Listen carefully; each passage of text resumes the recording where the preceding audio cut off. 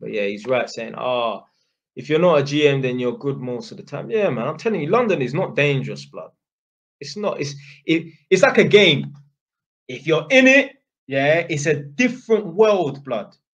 You could have two youths, yeah. Both of them can be from Tottenham.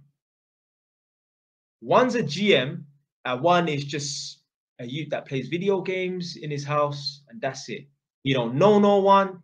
You don't talk like yeah you just would never know. He, yeah, he's, he's not involved in nothing. You wouldn't even be able to put it down to him being. You don't know where he's from. He's just like a normal good youth and that. His reality and his outcome is going to be a lot different if he's standing on Wood Green High Street at Tops, let's say where the Hollywood Cinema is. His experience is going to be a lot different than someone who is certified in Tottenham. If you're certified in Tottenham, if you're standing outside Hollywood Green Cinema you will be dead soon, yeah, if not getting at least ran down.